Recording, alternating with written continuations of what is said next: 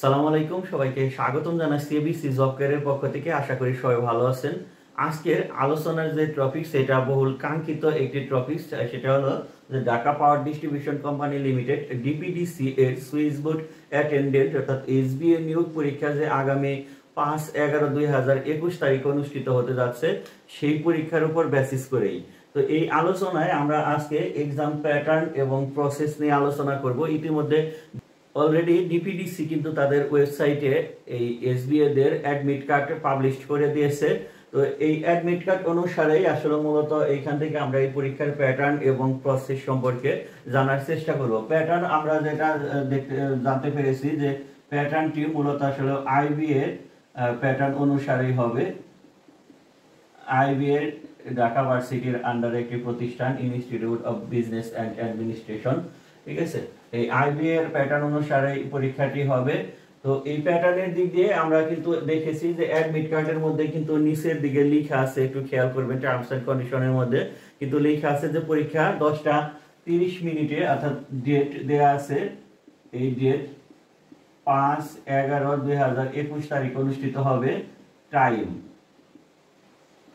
Time দশটা তিরিশ A M থেকে এগারোটা তিরিশ এ এম অর্থাৎ টোটাল ডিউরেশন ওয়ান আওয়ার এক ঘণ্টা সময়ের পরীক্ষা অনুষ্ঠিত হবে। এখন এইখানে আরেকটি টার্মস অফ কন্ডিশন দেয়া আছে, একটু খেয়াল করবেন এটা প্রত্যেকে অ্যাডমিট কার্ডে দেখেন যে কোনো প্রকার electrical device as scientific calculator বা প্রোগ্রামেবল ক্যালকুলেটর অথবা আপনার কোনো স্মার্ট ওয়াচ বা মোবাইল ফোন এগুলো কিন্তু কোনো কিছু ব্যবহার করা যাবে না।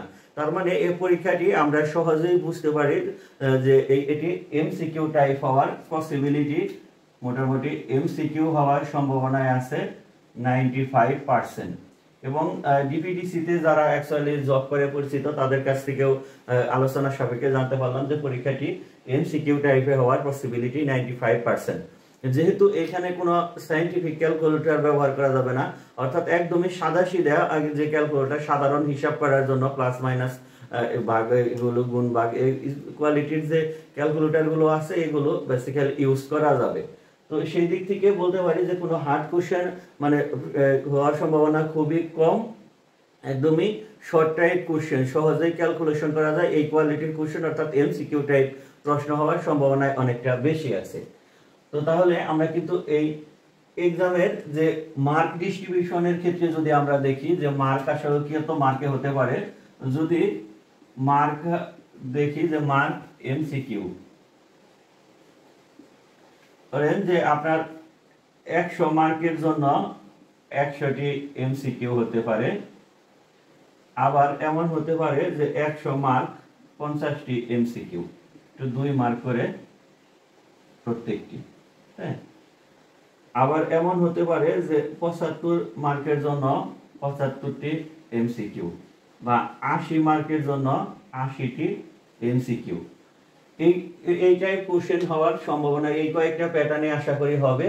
তো সিলেবাস নিয়ে আমরা নেক্সট ভিডিও দেব, তখন সিলেবাসগুলো সম্পর্কে জানতে পারবেন। আজকে শুধু এই প্যাটার্ন এবং প্রসেস সম্পর্কে আমরা জানব। তো তাহলে এক্সাম প্যাটার্ন মোটামুটি এটা হওয়ার পসিবিলিটি আছে, এই অনুপাতে আপনারা প্রস্তুতি নিতে পারেন। তাহলে চলুন আমরা এখন এই এক্সাম যে প্রসেস এই প্রসেসটি সম্পর্কে জেনে নিই। এই এক্সাম প্রসেসের ক্ষেত্রে দেখুন যে অ্যাডমিট কার্ডের ওপরে কিন্তু লেখা আছে card for written exam aptitude test এবং ইন্টারভিউ এই তিনটি কাজের জন্য এই কার্ডটি মূলত আসলেও ব্যবহৃত হবে। তো প্রথমেই রিটেন এক্সাম এখন রিটেন এক্সাম বলতে আমরা অনেকেই লিখিত বুঝি, যে আসলে রিটেন এক্সাম বলতে যে এমসিকিউ বোঝায়, এখানে এটা কিন্তু বুঝতে হবে। এমসিকিউ প্লাস লিখিত দুটোকেই কিন্তু এই রিটেন এক্সাম হিসেবে বোঝায়। তারপরে আছে aptitude aptitude test aptitude test অর্থাৎ হলো মানসিক দক্ষতা।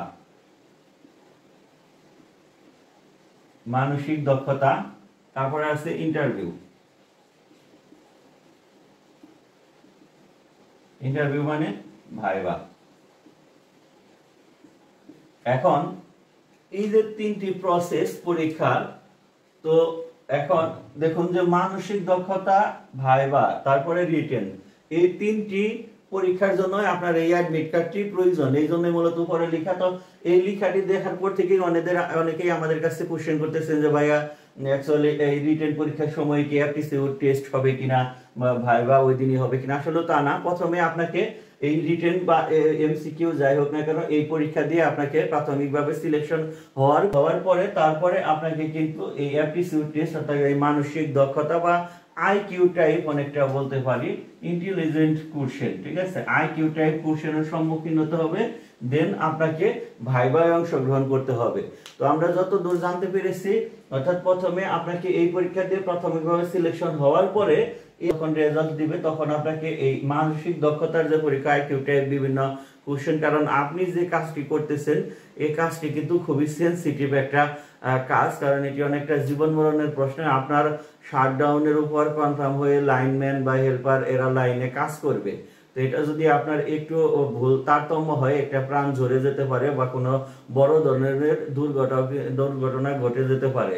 এই জন্য আপনার এই সেন্সিটিভ কাজকে আপনাকে যথাযথভাবে একটু পারফেক্ট যাচাই করে নেওয়ার জন্য মূলত এই যে পরীক্ষাটি, এই বা এই মানসিক দক্ষতার যে পরীক্ষাটি, এটি অ্যারেঞ্জ করা।